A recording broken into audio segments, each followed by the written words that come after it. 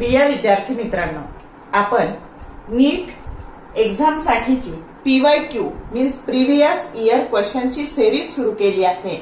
आणि यामध्ये आपण nineteen eighty eight to two thousand twenty four असे थर्टी सिक्स इयर्सचे पीवाय क्यू बघणार आहे. आता या सेरीजचा तीन प्रकारच्या विद्यार्थ्यांना उपयोग होणार आहे. पहिले विद्यार्थी जे नीट रिपीट करत आहेत. दुसरे विद्यार्थी जे दोन हजार पंचवीस ला नीट देत आहेत आणि तिसऱ्या प्रकारचे विद्यार्थी की जे दोन हजार सव्वीस ला नीट देत आहेत. अशा सगळ्या विद्यार्थ्यांसाठी ही सिरीज खूप उपयुक्त ठरणार आहे.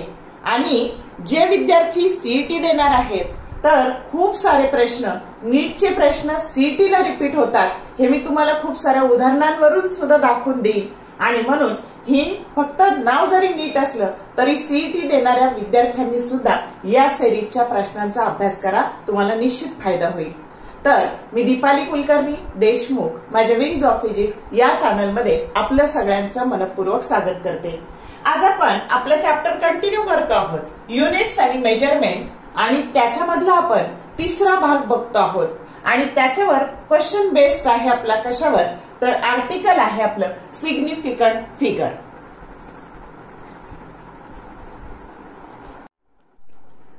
Question is, taking into account of the significant figures, what is the value of 9.99 meter minus 0.0099 meter? That was asked in NEET 2020. Option A, 9.9801 meter. Option B, 9.98 meter. C, 9.980 meter. And D, 9.99 meter. Now we have to subtract these two number. this number minus this number and if we write here 0 at that time the subtraction is 10 minus 9 that is 1 10 minus 10 0 9 minus 1 8 9 minus 0 9 and 9 this is the subtraction आता बघा जेव्हा आपण दोन नंबरची addition करतो किंवा त्याची subtraction करतो तर अँसर कसं ठरवायचं असतं तर हा तुमचा हे मीटर हा ए ऑप्शन आहे. पण हे उत्तर नाही. तर जेव्हा आपण ऍडिशन करतो किंवा सबस्ट्रॅक्शन करतो तर उत्तर हे लिस्ट डेसिमल पॉइंट वरून ठरवायचं असतं. म्हणजे याच्यानंतर डेसिमल पॉइंट नंतर दोन डिजिट आहे. आणि इथे बघा डेसिमल पॉइंट नंतर चार डिजिट आहे. म्हणजे येणाऱ्या उत्तराला तुमच्या दोन डिजिट डेसिमल पॉइंट नंतर दोनच डिजिट असले पाहिजे. मग लिस्ट डेसिमल जे काही आहेत ते आहेत हे आणि हा करेक्ट ऑप्शन आहे बी ऑप्शन म्हणजे उत्तर हे नाही ए नाही. सबस्ट्रॅक्शन जरी ही येत असली तरी तर उत्तर कशाहून ठरवायचं? जेव्हा ऍडिशन करतो ते किंवा सबस्ट्रॅक्शन करतो तर लिस्ट डेसिमल पॉइंट वरून उत्तर ठरवायचं असतं. हा झाला रूल ऍडिशन करताना किंवा सबस्ट्रॅक्शन करताना. ओके आणि जेव्हा आपण मल्टिप्लिकेशन किंवा डिव्हिजन करतो तेव्हा कोणता रूल वापरायचा ते मी तुम्हाला सांगते. नीट लक्षात घ्या. समजा ह्याच दोन नंबरचं आपण मल्टिप्लिकेशन केलं तर मल्टिप्लिकेशन असं येतं ह्या दोन नंबरचं मग आता ह्या नंबरमध्ये तीन सिग्निफिकंट फिगर आहे. या नंबरमध्ये दोन सिग्निफिकंट फिगर आहे. आणि ह्या नंबरमध्ये आलेलं जे काही मल्टिप्लिकेशन आहे त्याच्यात पाच सिग्निफिकंट फिगर आहे. तर उत्तराला जी लिस्ट सिग्निफिकंट फिगर आहे ती असली पाहिजे. मग आता लिस्ट सिग्निफिकंट फिगर दोन येण्याकरता आपलं उत्तर हे असावं लागेल. That is the correct option म्हणजे जेव्हा ऍडिशन किंवा सबस्ट्रॅक्शन असते तर डेसिमल पॉइंट वरून लिस्ट डेसिमल पॉइंट वाला नंबर जो असतो ती ऍडिशन किंवा सबस्ट्रॅक्शन असते. आणि मल्टिप्लिकेशन किंवा डिव्हिजन असतं त्यावेळेस significant figure least significant figure वालं आन्सर असतं. असे दोन वेगवेगळे रूल सिग्निफिकंट फिगरच्या बाबतीत असतात. तर हे नीट लक्षात ठेवा.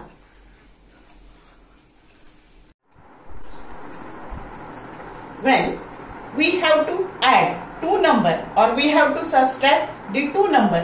At that time your answer should contain the least decimal uh, least digit after the decimal point. That is the rule or condition. Suppose this is the number and this is the number. This number contains two uh, digits after the decimal point and this number contains four digits after the decimal point. Then in your answer there should be least digit after the decimal point and therefore in this number the two digits are present and therefore correct option is B. This is the rule while adding or subtracting two numbers.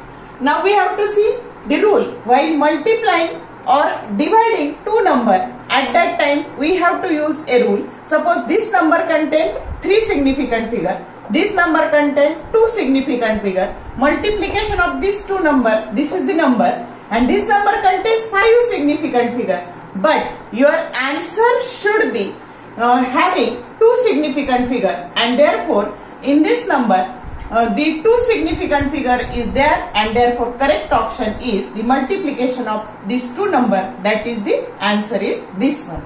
This is the rule. Means while adding or subtracting you have to use the least digit after the decimal point you have to consider and in this case you have to consider the least significant figure. Understood?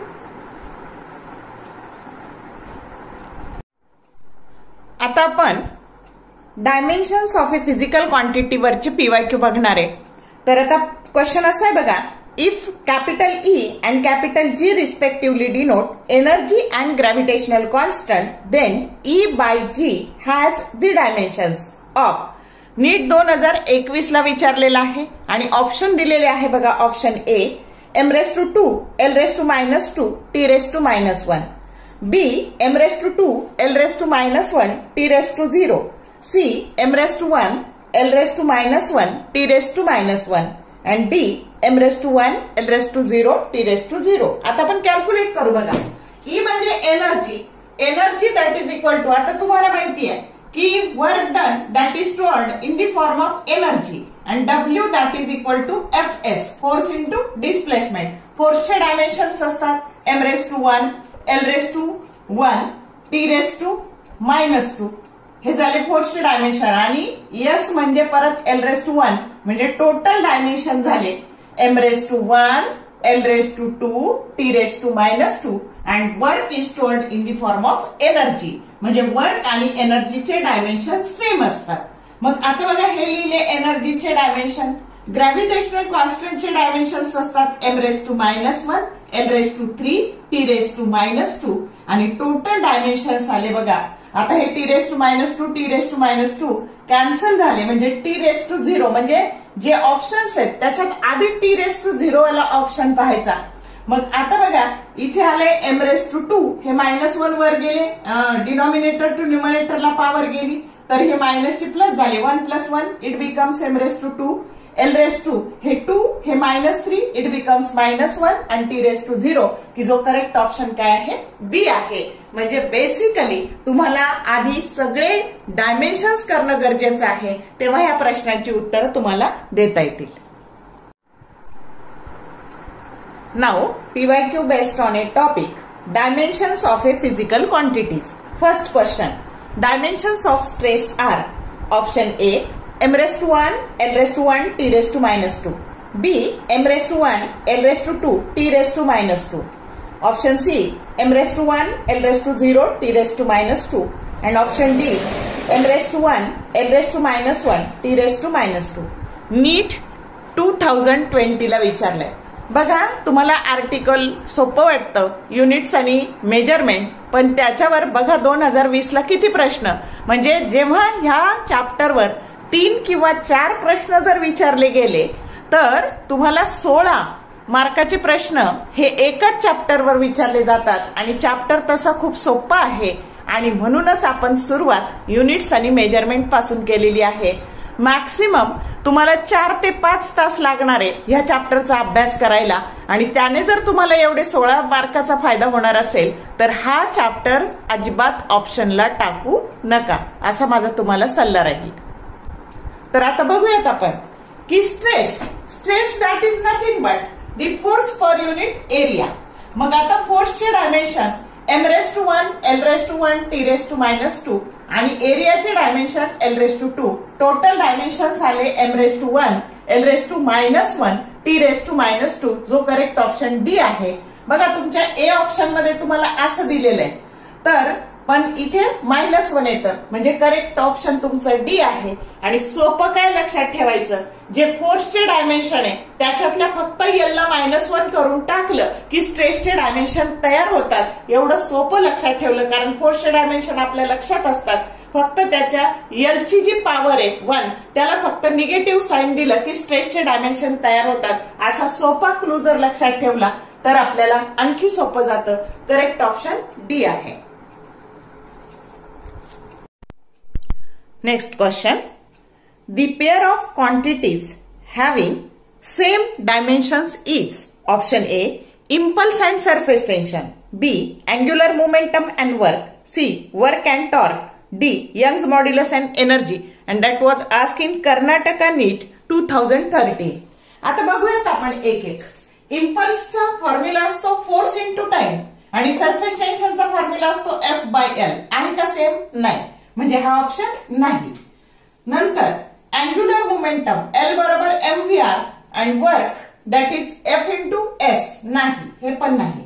इथे बघा वर्कचा formula असतो force into displacement हे म्हणजे displacement means L raise to one आणि फोर्सचे dimension आणि torque त्याचा की one of the force and perpendicular distance between two forces म्हणजे एफ आणि आर चे डायमेन्शन एल रेस्ट वन आहे का सारखं? एफ इंटू एस म्हणजेच एल रेस्ट वन आणि एफ इंटू आर म्हणजेच F into L raise to one म्हणजे करेक्ट ऑप्शन आहे सी आणि डी मध्ये बघूयात आपण. यंग मॉड्युलसचा फॉर्म्युला असतो स्ट्रेस अपॉन स्ट्रेन स्ट्रेनला डायमेन्शन नसतात. आणि म्हणून स्ट्रेसचे dimension M raise to one L raise to minus one T raise to minus two आणि एनर्जी चे डायमेन्शन्स असतात M raise to one L raise to two T raise to minus two म्हणजे हा सुद्धा ऑप्शन नाही. तर कोणत्या पेअरचे dimension same आहेत? तर वर्क आणि टॉर्क ही जी सी ऑप्शन आहे तो करेक्ट ऑप्शन आहे.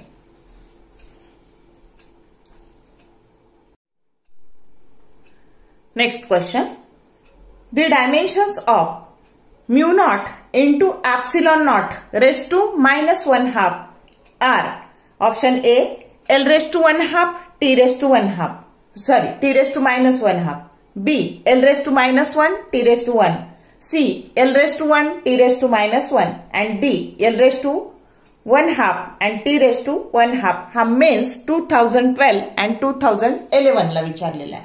मग आता बघा mu nought into epsilon nought raise to minus one half मग आता आपल्याला माहिती कशाची पॉवर वन हाफ असेल?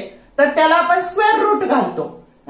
समजा असं असतं mu nought epsilon nought raise to one half तर हे झालं असतं square root of mu nought epsilon nought पण हे मायनस आहे. आणि मायनस आहे म्हणून हे काय झालं? One upon mu nought into epsilon nought आणि व्हेलॉसिटी ऑफ लाइट किंवा speed of light in a vacuum that is given by formula C that is equal to under root of one upon mu nought into epsilon nought म्हणजे हे म्हणजेच हे आहे. मग व्हेलॉसिटीचे dimensions काय असतात? L raise to one T raise to minus one जो correct option काय आहे? सी आहे. इथं वेळ घालवत बसायचं नाही. म्यू झिरोचे डायमेन्शन ऍप्सिलॉन नॉटचे डायमेन्शन त्याचं कॅल्क्युलेशन त्याचं रूट नाही. प्रत्येक वेळी प्रत्येक प्रश्नाला लॉजिक लावायचं असतं. आणि लॉजिकल थिंकिंग काढून जेव्हा तुम्ही पीवायक्यू सोडवाल तेव्हा तुमचा वेळ वाचणार आहे. आणि ह्या ज्या सगळ्या कॉम्पिटेटिव्ह एक्झाम आहे याला सगळ्यात महत्वाचं असतं टाइम सेव्हिंग टेक्निक जिथे जिथे तुम्हाला वेळ वाचवता येईल तो तो वेळ वाचवायचा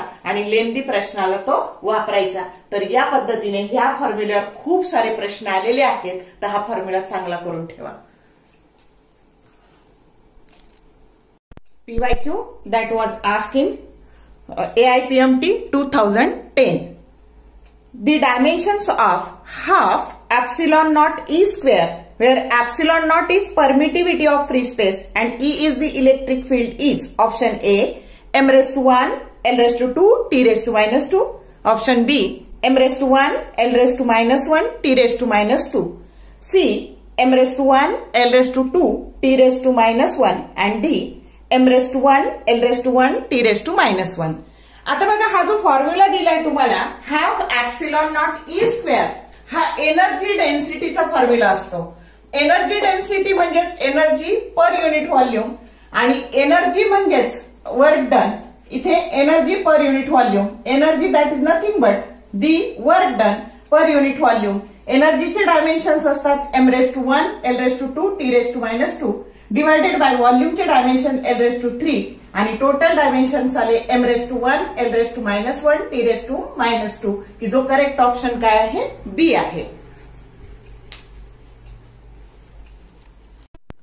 Before moving to next question first see this chart carefully that chart give you the sets of quantities having same dimensions number one strain refractive index relative density angle solid angle phase dist distance gradient, relative permeability, relative permittivity, angle of contact, Reynolds number, coefficient of friction, mechanical equivalent of heat, electric susceptibility, etc. are the dimensionless quantities.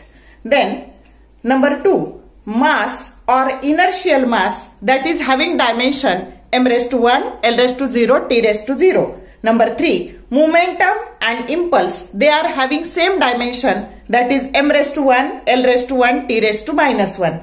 Number four, thrust, force, weight, tension and energy gradient they are having same dimension. And that is equal to m raised to 1 l raised to 1 t raised to minus 2 number 5 pressure stress young's modulus bulk modulus shear modulus modulus of rigidity and energy density all these quantities having same dimension that is m raised to 1 l raised to minus 1 t raised to minus 2 then number 6, angular momentum and Planck's constant having same dimension and that is equal to m raised to 1, l raised to 2, t raised to minus 1. Number 7, acceleration and gravitational field intensity that is having dimension m raised to 0, l raised to 1, t raised to minus 2. Then number 8, surface tension, free surface energy that is nothing but energy per unit area force gradient, spring constants that is having same dimension that is m raised to 1, l raised to 0, t raised to minus 2. Number 9. Latent heat capacity and gravitational potential that is having same dimension m raised to 0, l raised to 2, t raised to minus 2. Then number 10. Thermal capacity, uh, thermal heat capacity uh, sorry, thermal capacity, Boltzmann constant and entropy having same dimension that is m raised to 1, l raised to 2, t raised to minus 2 and k raised to minus 1. Then number 11, work, torque, internal energy, potential energy, kinetic energy, moment of force, then q square by c, li square, q into v, v square into c, i square rt, v square r into t, VIT, PV, RT, ML, MC into delta T, all quantities having same dimension that is m raised to 1, L raised to 2, T raised to minus 2. Then number 12, frequency, angular frequency, angular velocity, velocity gradient, radioactivity, then R by L, 1 by R into C, 1 upon under root of L into C all are having same dimension that is T raised to minus 1. Number 13 L by G raised to 1 half means under root of L by G. M by K raised to 1 half that is under root of M by K. L by R R into C then under root of L into C and time all are having same dimension that is T raised to 1. And number 14 that is V into I then I square into R, V square by R and power all are having same dimension m raised to 1, l raised to 2, t raised to minus 3. बघा हा chart तुम्हाला खूप काही गोष्टी सांगून जाणार आहे आणि त्याच्यावरचेच प्रश्न आपण आता घेणार आहोत तर हा जो चार्ट आहे तो काळजीपूर्वक लर्न करा PY that was ask in A I P M T two thousand eight Which two of the following five physical parameters have the same dimension?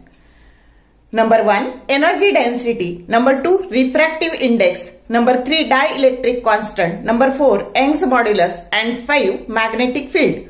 Option A 1 and 4. Option B 1 and 5. Option C 2 and 4. And option D 3 and 5. Now see this chart and in this chart see the point number 5. And in that chart the energy density that is work done per uh, work done per unit volume then dimensions of work done m raised to 1 l raised to 2 t raised to minus 2 and volume uh, having dimension l raised to cube. And that becomes m raised to 1 l raised to minus 1 t raised to minus 2 and Young's modulus formula for Young's modulus that is stress by strain. We know that strain is dimensionless quantity and therefore stress that is nothing but f by a and dimensions of stress that is m raised to 1, l raised to minus 1, t raised to minus 2 and therefore correct answer is option A 1 and 4 quantities they are having same dimension आणि म्हणून दिलेल्या chart मधला पाच नंबरचा जो point आहे तो याचं उत्तर तुम्हाला सांगून जाणार आहे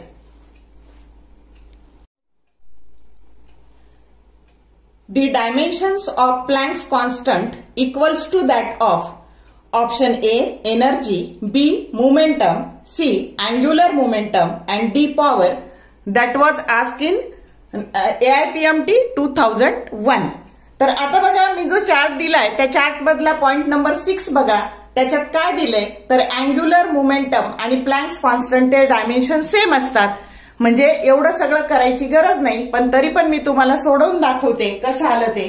तर आपल्याला असं माहिती आहे की फोटॉनची जी एनर्जी असते ती E that is equal to H mu तर एच हा असतो प्लॅन्स कॉन्स्टंट आणि म्हणून एच बरोबर ई बाय म्यू पैकी ई एनर्जी आणि म्यू ही फ्रिक्वेन्सी असते.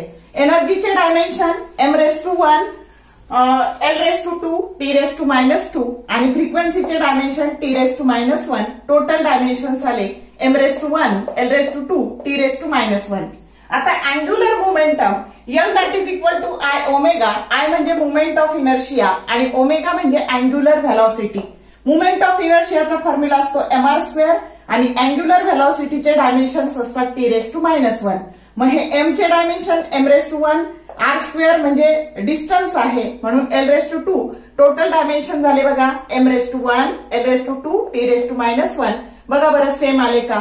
आणि अँग्युलर मोमेंटमचे डायमेन्शन अजून एका फॉर्म्युलाने कॅल्क्युलेट करता येतात. L that is equal to M V R M म्हणजे mass M raise to one V म्हणजे velocity L raise to one T raise to minus one आणि आर म्हणजे distance L raise to one पुन्हा dimension आले. M raise to one L raise to two T raise to minus one म्हणजे angular मोमेंटमचे dimension दोन्ही पैकी कोणत्याही एका फॉर्म्युल्याने तुम्ही ऑप्टेन करू शकता. आणि म्हणून आणि एवढं करायची गरज नाही. डिरेक्टली लक्षात ठेवा प्लॅन्स कॉन्स्टंटचे डायमेन्शन कशा बरोबर असतात? तर अँग्युलर मुमेंटम बरोबर. जो तुमचा करेक्ट ऑप्शन आहे बघा. तुमचा करेक्ट ऑप्शन आलेला आहे अँग्युलर मोमेंटम हा करेक्ट ऑप्शन आहे सी ऑप्शन म्हणजे हा तुमचा सी ऑप्शन आहे. Correct option option C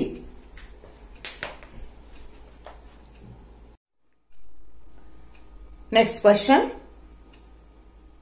Which pair do not have equal dimensions? Option A. Energy and torque.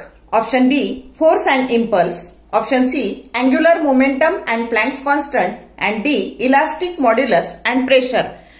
आता बघा हा एआयपीएमटी दोन हजारला आलेला पीवायक्यू आहे तर आता तुमच्या याच्यामध्ये एनर्जी आणि टॉर्क तर पॉईंट नंबर जो चार्ट दिला त्याच्यात इलेव्हन नंबरचा पॉईंट आहे. बी पॉईंट आहे बघा फोर्सचे dimension M raise to one L raise to one T raise to minus two आणि इम्पल्सचे डायमेन्शन फोर्स इंटू टाइम म्हणजे M raise to one L raise to one T raise to minus one आपल्याला equal dimension कुणाचे नाही तर correct option B आहे. आता C point तुमचा दिलेला आहे बघा. तर सी दिलेला अँग्युलर मोमेंटम आणि प्लॅन्स कॉन्स्टंट की जो सहा नंबरचा पॉइंट आहे चारमध्ये याचे डायमेन्शन सेम आहे. आणि D elastic modulus and pressure आता इलास्टिक मॉड्युलसमध्ये काय काय येतं? Young's modulus bulk modulus modulus of rigidity आणि प्रेशर स्ट्रेस या सगळ्याचे डायमेन्शन सेम आहेत की जो चार्ट मधला पॉइंट नंबर पाच आहे. मग तुम्हाला कशाचे डायमेन्शन सेम नाही असं विचारलंय तर करेक्ट ऑप्शन तुमचा बी येणार आहे. फोर्स आणि इम्पल्सचे डायमेन्शन सेम नाही. Next question The dimensions of impulse are equal to that of option A pressure, B linear momentum, C force and D angular momentum. तर आता बघा तुम्हाला जो चार्ट दिलाय त्यातला तीन नंबरचा पॉइंट बघा. तर त्याच्यामध्ये इम्पल्स आणि लिनियर मोमेंटमचे डायमेन्शन सेम आहेत. आता इम्पल्स फोर्स इंटू टाइम मग डायमेन्शन आले M raise to one L raise to one T raise to minus one आणि linear momentum that is product of mass and velocity मासचे dimension M raise to one व्हेलॉसिटीचे L raise to one T raise to minus one आणि ह्या पद्धतीने तुमच्या impulse आणि linear मोमेंटमचे dimension same आहेत. म्हणजे तुमचा correct option आहे बी ऑप्शन उत्तर आहे बी ऑप्शन हा एआयपीएमटी नाईन्टीन नाईन्टी सिक्स ला आलेला प्रश्न आहे. म्हणजे तुमच्या लक्षात आलं असेल की हा जो चार्ट आपण पाहिलाय तो किती महत्त्वाचा आहे ते. आज आपण खूप सोप्या पद्धतीने इंडक्टन्स रेझिस्टन्स आणि कपॅसिटन्स याचे डायमेन्शन्स ऑप्टेन करणार आहोत. तर इंडक्टन्ससाठी लेटर वापरायचं कॅपिटल एल रेझिस्टन्ससाठी वापरायचं कॅपिटल आर कपॅसिटन्ससाठी वापरायचं कॅपिटल सी मग आता बघा स्क्वेअर ब्रॅकेटमध्ये एम एल टी ए किंवा M L T I I करंटसाठी M is mass L means length T means time and A or I that is current मग आता बघा इथे काय करायचं? तर स्क्वेअर ब्रॅकेटमध्ये हे असं लिहून घ्यायचं. इथे लिहायचे वन आणि टू इथे लिहायचे वन आणि टू आणि इथे पण लिहायचं वन आणि टू याची पॉवर इथे लिहायची टी ची पॉवर टू ए ची पॉवर टू टी ची पॉवर थ्री याची पॉवर टू याची पॉवर फोर याची पॉवर टू इथे या दोन्हींना मायनस साईन द्यायचं. इथे या दोन्हींना मायनस साईन द्यायचं. इथे मात्र ह्या दोन्हींना मायनस साईन द्यायचं. झाले डायमेन्शन्स तयार. आणि हा सिक्वेन्स डिस्टर्ब होऊ नाही. म्हणून एक वाक्य लक्षात ठेवायचं L R C means ladies representative of college असा वर्ड लक्षात ठेवला तर हा सिक्वेन्स लक्षात राहायला सोपं जाईल आणि आता आपण याच्यावर येणारे प्रश्न बघणार आहोत PYQ that was asked in AIPMT 1996. Which of the following dimensions will be the same as that of the time? Option A, L by R. Option B C by L option C L into C and option D R by C. तर आता बघा जो chart मी दिलाय त्यातला तेरा नंबरचा point बघा. तिथे हे दिलेलं आहे उत्तर. आणि इथे मी तुम्हाला काढून दाखवते की एल बाय आर त्याचे जर डायमेन्शन घेतले तर एलचे डायमेन्शन म्हणजेच इंडक्टन्सचे dimension M raise to one L raise to two T raise to minus two A raise to minus two आणि रेझिस्टन्सचे dimension M raise to one L raise to two T raise to minus three A raise to minus two same same वाले सगळे cancel झाले. आणि हे T raise to minus two आणि हे minus minus plus झाले. टोटल डायमेन्शन झाले T raise to one that is nothing but time आणि म्हणून टाइमचे डायमेन्शन हे एल बाय आर हे इक्वल टू टाइमचे डायमेन्शन जो करेक्ट ऑप्शन ए आहे. PY Q that was ask in AIPMT nineteen ninety five The dimensions of R into C is option A square of time, B square of inverse time, C time, D inverse time. मग आता बघा R into C point number thirteen पहा chart मधला. आणि आपण काढून पण बघू इथं. R into C रेजिस्टन्सचे dimension M raise to one L raise to two T raise to minus three A raise to minus two आणि कपॅसिटन्सचे M raise to minus one T raise to minus two T raise to four and A raise to two आता हे plus minus काय झाले? Cancel झाले. हे पण cancel झाले. ए हे पण कॅन्सल झाले. मग T raise to minus three in two plus four म्हणजे झाले T raise to one that is equal to time की जो चार्ट मधला तेरा नंबरचा पॉइंट ऑलरेडी सांगितलेला आहे आणि म्हणून करेक्ट ऑप्शन काय आला? सी टाइम नेक्स्ट क्वेश्चन बघा हा रिपीट झालाय. AIPMT nineteen ninety four and nineteen ninety Which of the following has the dimensions of pressure? Option A, m raised to 1, l raised to 1, t raised to minus 2. B, m raised to 1, l raised to minus 1, t raised to minus 2. C, m raised to 1, l raised to minus 2, t raised to minus 2. And D, m raised to minus 1, l raised to minus 1. मग आता प्रेशरचे dimensions विचारले pressure that is equal to force per unit area फोर्सचे dimension M raise to one L raise to one T raise to minus two आणि एरियाचे dimension L raise to two हे minus two डिनॉमिनेटरचे न्युमरेटरला गेले तर हे प्लसचे मायनस झाले. आणि टोटल डायमेन्शन झाले M raise to one L raise to minus one T raise to minus two जो करेक्ट ऑप्शन बी आहे.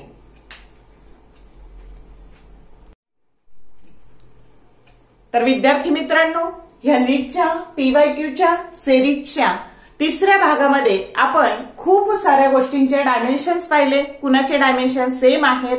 त्यावर आलेले सोपे सोपे प्रश्न पाहिले. सिग्निफिकंट फिगर्स बेरीज आणि वजाबाकी करताना काय करायचं? गुणाकार आणि भागाकार करताना काय नियम वापरायचे? हे सगळं पाहिलं की ज्याचा तुम्हाला खूप सारा उपयोग होणार आहे. आणि म्हणून मी जे चार्ट दिलाय तो चार्ट चांगला काळजीपूर्वक लर्न करा. खूप साऱ्या प्रश्नांची उत्तरं तुम्हाला मिळून जातील. आणि मला खात्री आहे की ही सिरीज तुम्हाला खूप उपयुक्त ठरणार आहे. आणि म्हणून रोज थोडा थोडा अभ्यास करा. जे बारावीला मुलं आहेत ज्यांचा अकरावीचा बॅकलॉग राहिलेला आहे साधा टॉपिक आहे युनिट्स आणि मेजरमेंट आणि बघा चार चार पाच पाच प्रश्न त्याच्यावर पडतात. म्हणजे जर एवढ्या कमी कष्टात तुम्हाला एवढे चांगले मार्क्स मिळणार असतील तर का नाही अभ्यास करायचा? आणि तुमच्या अभ्यासाला दिशा देण्याकरता मी ही सिरीज सुरू केलेली आहे. मला खात्री आहे तुम्ही त्याचा निश्चित उपयोग करून घ्याल. All the best for your study and thank you for watching this whole video